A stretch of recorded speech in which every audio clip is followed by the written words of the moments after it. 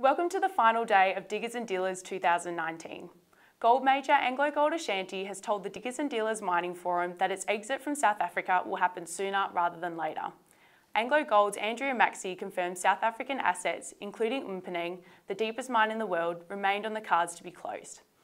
But the company will keep a South African office to service its Obuasi gold mine in Ghana.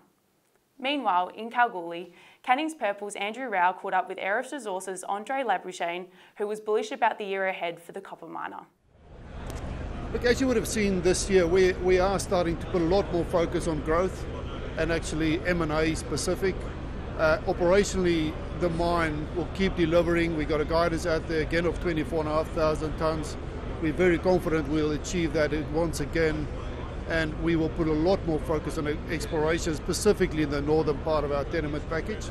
Uh, but at a corporate level, we'll keep on trying to improve the balance sheet and actually grow the business beyond Tritton as well. Here's Simon White with some more headlines from Diggers and Dealers. Thanks, Morgan.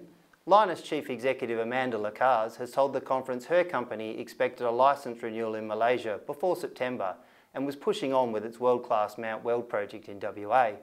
West African Resources Managing Director Richard Hyde reported positive construction progress at the Sanbrado Gold Project in Burkina Faso, with production set to start next year.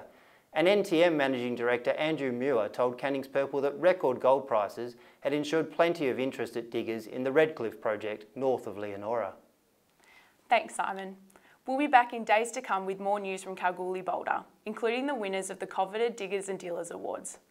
Don't forget to log on to investorinsight.com.au and the268.com.au for detailed insights into the major trends emerging at Diggers and Dealers 2019.